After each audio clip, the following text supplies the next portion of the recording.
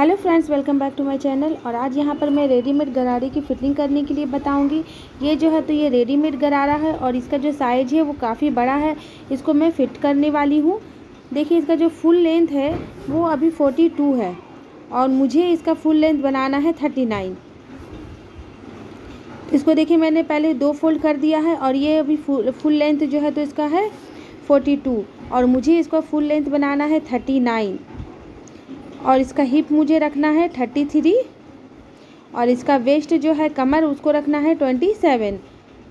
इसी के नापी से, ये तीनों नापी से मुझे इस गरारे की दोबारा से स्टिचिंग करके इसको उसी तरह से करना है।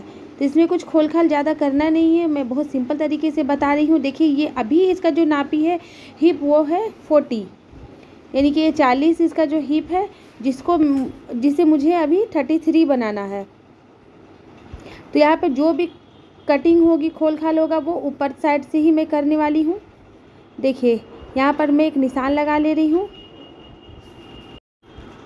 यहाँ पर मैं एक फोर्टी वन इंच पर निशान लगा ले रही हूँ। यहाँ पर जो इलास्टिक पहले से लगा हुआ है, उसको मैं कट करके निकाल दूँगी।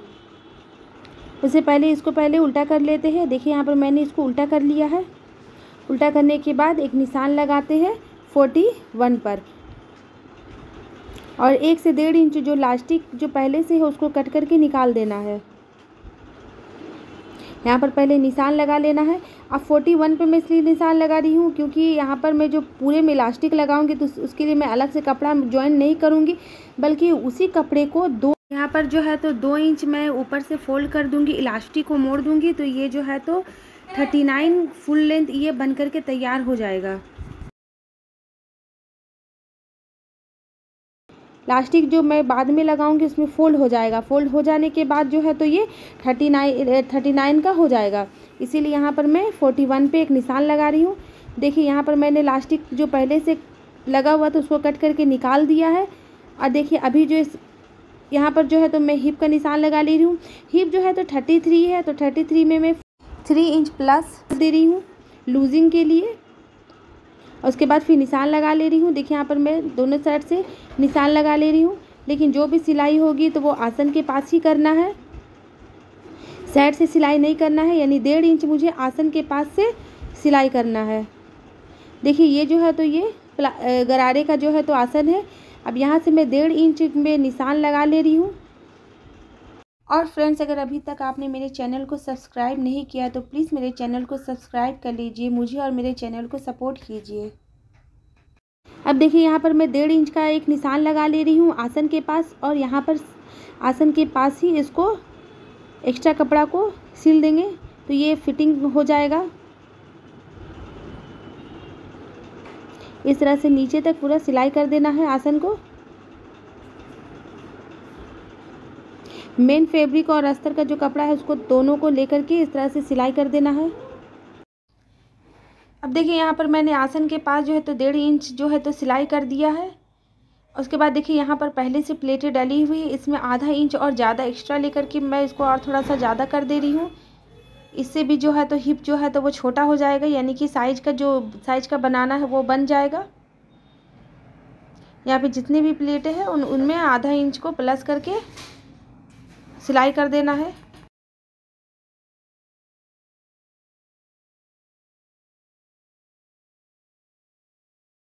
अब देखिए यहाँ पे आसन से सिलाई करते हुए लेकर के पूरी नीचे पैर तक सिलाई करके आना है।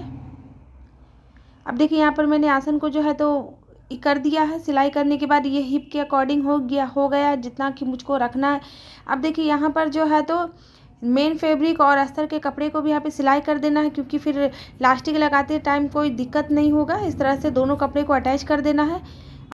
अब देखिए, यहाँ पर मैं इलास्टिक को भी ले लेती हूँ नाप करके। इलास्टिक जो है तो कमर के अकॉर्डिंग डलाएगा यानी कि जितना भी कमर, उसे तीन या तीन या चार इंच जो है तो माइनस कर देना है।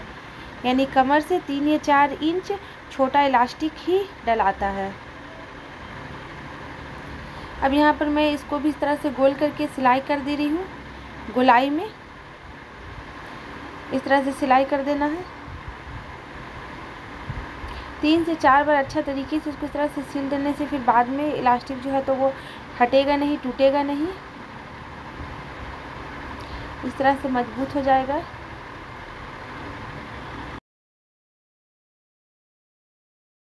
अब देखिए, यहाँ पर मैंने इलास्टिक को अटैच कर दिया है।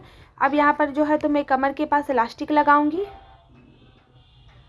देखिए, यहाँ पर जो है तो गरारा का कपड़ा है।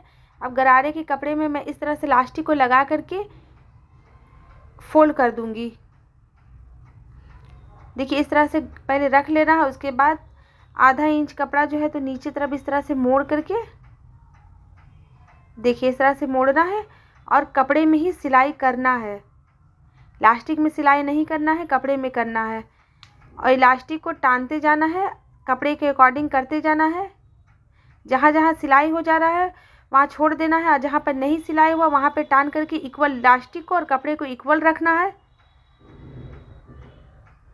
और कपड़े में ही सिलाई लगाना है, इलास्टिक में सिलाई नहीं लगाना है। देखिए, इस तरह से पहले इलास्टिक को टानना है, जहाँ पे सिलाई हो चुका है, और उसके बाद जहाँ सिलाई नहीं हुआ है उसके अकॉर्डिंग करने के बाद इस तरह से कपड़े को फोल्ड करना है। अंदर की तरफ़ हाफ़ इंच और ऊपर की तरफ़ जो है तो एक से डेढ़ इंच के करीब।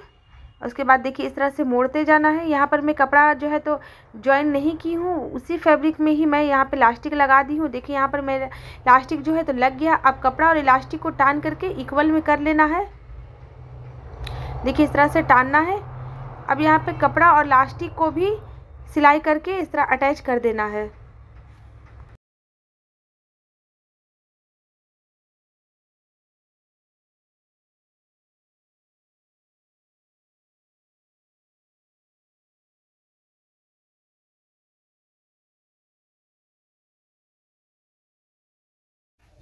और देखिए फ्रेंड्स, यहाँ पर मैंने गरारे की जो है तो परफेक्ट फिटिंग कर ली है। यहाँ पर ऊपर मैंने कट करके निकाल दिया था, उसके बाद यहाँ पर मैंने इलास्टिक को फोल्ड कर दिया और जितना मुझे इसकी लंबाई रखनी थी, यानी थर्टी नाइन ये बन करके थर्टी नाइन तैयार हो चुका है। और इसका हिप भी मुझे जितना चाहिए था उतना बन चुका है। ये काफ़ी बड़ा साइज़ था और इसको मैंने परफेक्ट फिटिंग कर दिया है।